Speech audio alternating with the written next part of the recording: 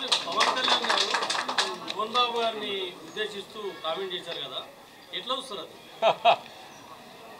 పవన్ కళ్యాణ్ గారు మా నాన్నగారిని ఉద్దేశించి కొన్ని ప్రశ్నలు అడిగిన మాట మాట వాస్తవమే. మేమందరం కూడా మీ మీడియా ద్వారా మేము తెలుసుకున్నాం. అది నాన్నగారే దానికి మాట్లాడాలి. ఎందుకంటే నన్ను అడగలే ఆయన. నాన్నగారే మాట్లాడతారు. ఆయన స్టేట్మెంట్ కూడా ఇచ్చారు నాన్నగారు.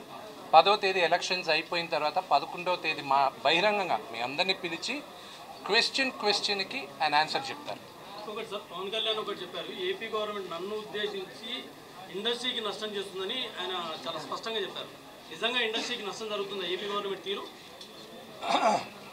పవన్ కళ్యాణ్ గారు మాట్లాడింది నేను పూర్తిగా వినలేదండి. కానీ కొంత కొంత నేను చూశాను ఆ క్లిప్పింగ్స్ అవన్నీ చూశాను. సారాంశం మీ మీడియాలో వచ్చిన పత్రికల్లో నేను చూశాను చదివాను. దాంట్లో ఒకటి ఏంటంటే పవన్ కళ్యాణ్ గారు ఇండస్ట్రీని ఉద్దేశించి మాట్లాడారు. ఇండస్ట్రీ కోసం మాట్లాడారు ఆయన దానికి Telugu film chamber of commerce ఆ కామెంట్స్కి మాకు ఎలాంటి సంబంధం లేదు అని ఆల్మోస్ట్ ఆ లెటర్లో నారాయణ దాస్ గారు ఇచ్చేశారు. మీడియాకి మీ అందరికీ ఉంది. తెలుగు ఫిల్ ఫిలిం ప్రొడ్యూసర్స్ కౌన్సిల్. వాళ్ళు ఏకీభవించట్లా వాళ్ళు సపరేట్ ఆ లెటర్లో ఏపీ గవర్నమెంట్ కానీ తెలంగాణ గవర్నమెంట్ కానీ మాకు రెండు కళ్ళు.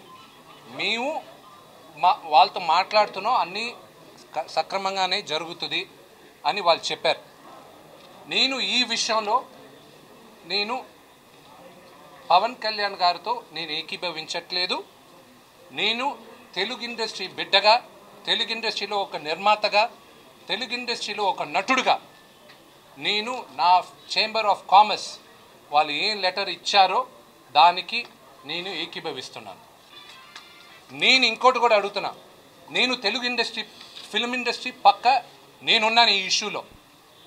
ప్రకాష్ రాజ్ గారు తెలుగు ఇండస్ట్రీ ప- తెలుగు ఫిల్మ్ ఇండస్ట్రీ పక్కన ఉన్నారా లేదా ఈ ఇష్యూలో పవన్ కళ్యాణ్ గారు పక్కన ఉన్నారా ఆయన హండ్రెడ్ పర్సెంట్ చెప్పాలి. నేను తెలుగు ఇండస్ట్రీ పక్క ఫిల్మ్ ఇండస్ట్రీ పక్కన ఉన్నా.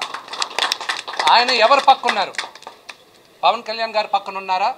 లేదా తెలుగు ఫిల్మ్ ఇండస్ట్రీ మేమందరం నమ్ముకొని మా జీవనాధారం ఇది. మా ఇండస్ట్రీ తరపున ఉన్నారా? అదొక్కటి నా క్లారిటీ. ఆయన అడిగి మీరు తీసివ్వండి.